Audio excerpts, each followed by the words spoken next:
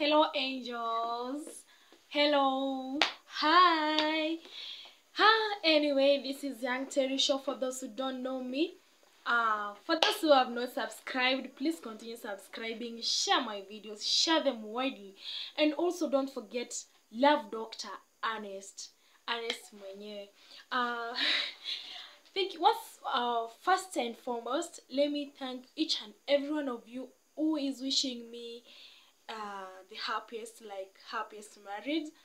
Uh, thank you so much. Wengi sana, I've seen so many of you congratulating me. You know, it is not easy. Uh, you know, coming to social media and saying, you know, this is my husband, it is not easy. Though some of you are like, is this a movie? Is this real? We are confused. Uh, so, guys, I want to tell you that there is nothing like a movie. If it is a movie, you know, someone can't kiss live on social media. No. There is a true story, like we do things that are true and real. Love Doctor, continue supporting Love Doctor. He is my husband. Also, guys, today we have a video. Um, this video it touched me. It really touched me. It touched my heart. You know why? Because there is a lady somewhere. There is a soul somewhere that is suffering. Suffering. When I say suffering, I mean suffering. And when I say it, I say it from the bottom of my heart. It pains me. There is a lady after this, after my introduction. There is a lady who is suffering from cancer. And to make it more worse, it's the, it is in stage 3 cancer. Stage 3. She, you can imagine, she is the breadwinner of her family. Her family depends depends on her. From her husband to her to her children. From her children, peer cancer depends on her. You can imagine the hospital bills.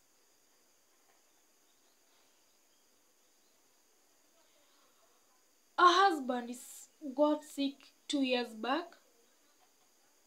He's suffering from uh, epi- is it epilepsy, kifafa. Uh, when this disease started, he he got mentally challenged. And last year, this woman started bleeding. She started bleeding. She didn't know what was the cause. But when she went to the hospital, she was diagnosed of having cancer and it was in stage 3.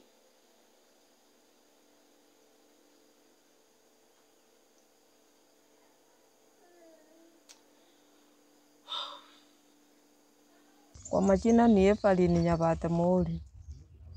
Niko na ugonjwa wa kansa ambao umefika stage 3. Sina chochote, naomba usaidizi. Sina hata pesa, sina kitu chochote kabisa. Uwanja wangu unatakikana pesa, lakini hakuna. Na mzee wangu ni mgonjwa, anaanguka chini, anaanguka mahali popote hajijui. Akikucha ameumia, kila mahali anaumia, Sina kitu chochote. Mtoto wangu alifanya standard 8 akapita akapata marks 323 lakini sikuwa na uwezo wa kumchukua shule.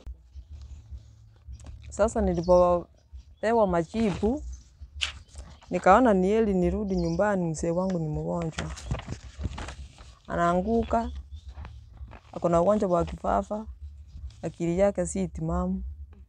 Sasa nikaona nirudi nyumbani na mtoto wangu mkubwa msichana alifanya class 8. Result yake ndio hii. Sikuwa na pesa ya kumchukua shule sababu ugonjwa uliniingia. Sasa marafiki na jamaa na watu walinisaidia. Mmoja alinisaidia Na, na mtoto alipata alama ngapi? mtoto alipata alama 323 marks. Sasa naye alikuwa ananisumbua nataka aende shule na pesa sikuwa nazo. Sasa watu wakanionea huruma, mmoja akanisaidia mattress, mwingine sanduki, mwingine kitambaa, mwingine kitambaa na mwingine blanket. Sasa pesa ilinikosa ni ya kununua uniform na za kumchukulia ndani. Nikaona hili sasa ni ili tu aende hii nini ya kutembea na kurudi, sababu sina uwezo. Naamka asubuhi saa kumi na moja namsindikiza mpaka Sunika, alafu anaanza kutembea kwenda ndani na miguu na kurudi, anarudi jioni kabisa. Sasa anaomba usaidizi, sina chochote, nataka mnisaidie, sina kitu chochote. na kwa jambo na yeye nafaa kurudi tarehe ishirini, lakini sina hata pesa ya nini ya kurudi, na matibabu lazima nitumie pesa ndio nitibiwe. Sasa naomba usaidizi, akimnisaidie, watoto wangu ni wadogo. Na, na sasa umegonjeka kwa muda huu unatosha na aje? Nimegonjeka si sana kutoka mwezi wa saba eh, Uliambiwa kansa yako iko stage gani? stage three. Na walikwambia wanaweza kusaidia aje? Sasa waliniambia nikienda kliniki tarehe ishirini watatanieleza vile nitatibiwa. Mm. Na mtoto alikuwa anatamani kwenda shule gani kama alikuwa anaenda? Alikuwa anatamani aende shule kama hii Gesero, lakini akuwe boarding. Alikuwa anatamani Gesero, Hivyo alikuwa hii yenye? Gesero Oh, hapo sasa ndio anaenda day school. eh, ndio Oh, anaenda day school. day school na boarding. eh, Okay. Eh, ndio alikuwa anatamani aingie ndani sasa eh, hii Kasera ndio anatamani, Eh. kuna shule Na sasa venye alienda mama, eh, kuna naelewa kuna pesa zenye wanafaa kulipa na vitabu, kuna zile matumizi. Uliweza kuzipata akaingia shule? si ni watu walinisaidia, mmoja akanipea dictionary, Mm. mwingine kamusi, mwingine Biblia, kila kitu walinisaidia, alafu Mm. alafu akaingia. Hivyo tuseme kwa sahihi, kwa sababu tunaona kuna vitu zingine ziko hapa, ni school fees imekosa, mtoto aingia tu boda ndani. Eh, Okay. na mama, nikuulize, umesema wakati ulikuwa hospitalini, we ndio kabla hata uende, we ndio unashughulikia familia, we ndio kila kitu, we tuseme ndio umesimamia familia, eh, kila kitu ni mimi. Na Mm. wakati ulikuwa umeenda huko, nani alikuwa anawashughulikia kama chakula wakati ulikuwa hospitali? Majirani tu walikuwa wanawasaidia, Mm. majirani walikuwa wanawapea. Na huyu mzee wako alianza kukua kukuwa na hiyo ugonjwa wa kifafa tangu lini? Miaka mbili imepita. Mm. Sasa meaning alikuwa vizuri kutoka hapo nyuma. Eh, kutoka nyuma alikuwa sawa. Mhm. Na pia uliweza kusema mzee wako ako na shida ya kiakili. Mm. Pia hiyo ilianza wakati ali- ali- alianza na hiyo ugonjwa mwingine ama kulikuwaje? Eh, vile alianza kuanguka Mm. ndiye alianza hiyo tu. Sasa kama saa hii tumekuja hapa hatujapata mzee hapa, anaweza kuwa ako wapi? Anatembea tu Mm. eh. Anaamka asubuhi, anaweza akatembea kwenda Sunika ama atembee mahali popote. Alafu akikuja anaanza kuitisha chakula, anasema mi si mwanafunzi wa shule, nataka chakula saa hii, hata chakula iwe ama hakuna, yeye anataka chakula eh. Sasa lazima ning'ang'ane apate chakula Na mlijaribu kumpeleka hospitali? eh. Hospitali alichukuliwa, lakini ikashindikana Mm. eh. Mama ndio uko na watoto wangapi? Watatu, Watatu. Hao wengine wako darasa lipi? Wa pili alifanya grade 6 na yeye ako grade 7 Mhm. alafu na watatu ako grade 4 Okay. eh. Shule. Eh, wote tena niling'ang'ana huyu na ina huyu kwa grade 7 unachua ni shida. Mm.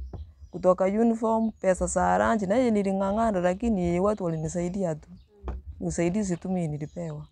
Sasa kabla ugonjwa wako iweze kukuathiri kuli mpaka sasa hivi venye tumekuwa na hii hali, ulikuwa unafanya shughuli gani za kupata Nilikuwa ninafanya kibarua nini ya shamba. ya kulima? Mm. Okay. Na labda labda kwa maana kuna wale watu ambao wanakutazama wana- wanafikiria eh, umekuwa umeanza kugonjeka juzi na hizi shida zimekupata juzi. Uh, before hiyo uliwahi kuwa na shida yoyote ya kiafya? Hapana, nilikuwa tu sawa, ingawa mwili wangu ni mdogo, lakini nilikuwa tu sawa. Mm. So kwa, kwa, kwa mtu anakutazama unaweza na, naomba uwapatie namba ya simu kwa wale watu ambao wanakuangalia, alafu tuone kama vile tunamaliza. Si uko na simu? Mm. Nipeane Yes.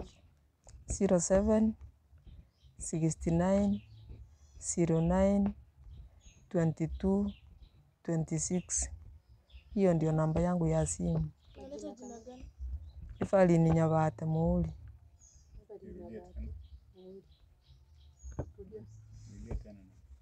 Zero seven sixty nine zero nine twenty two twenty six. Nyabate Muuli.